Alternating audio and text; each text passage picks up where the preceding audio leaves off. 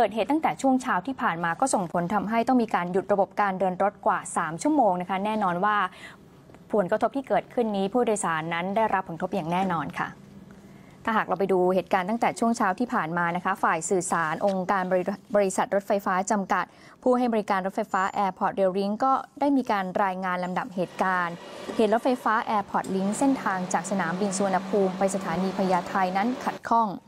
โดยเมื่อเวลา 8 นาฬิกาที่ผ่านมาจากการตรวจสอบสาเหตุ เนื่องจากไฟตกที่สถานีรามคำแหงทำให้ระบบจ่ายไฟของรถไฟฟ้าขัดข้อง ส่งผลให้รถไฟที่ให้บริการที่สถานีรามคำแหงต้องหยุดให้บริการ และทำให้รถไฟขบวนอื่น ๆ นั้นล่าช้าไปประมาณ 30 นาที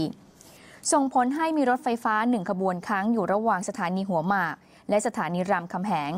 โดยมีผู้โดยสารเต็มขบวนประมาณ 745 คน ต่อมาเมื่อเวลา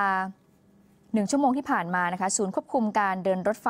ก็ได้มีการส่งขบวนรถไฟเสริมไปช่วยจำนวน 2 ขบวน แต่ระหว่างนั้นมีผู้โดยสารส่วนหนึ่งได้เปิดประตูฉุกเฉิน แล้วก็ทยอยลงเดินทางไปยังสถานีรามคำแหง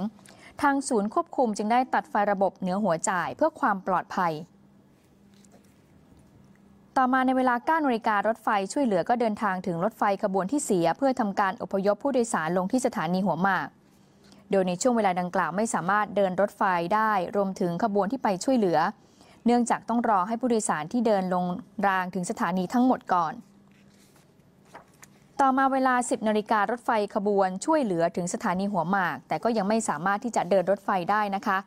แม้แต่ขบวนที่ไปช่วยเหลือ เนื่องจากผู้โดยสารเดินลงราง จึงต้องรอให้ผู้โดยสารนั้นทยอยเดินออกจากราง และลงที่สถานีให้หมดเสียก่อน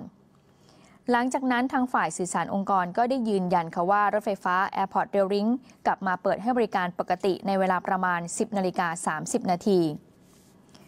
ทางนี้รถไฟฟ้า Airport Rail Link มีผู้โดยสารใช้บริการปีละ 22 ล้านคน เฉลี่ยวันละ 60,000 คน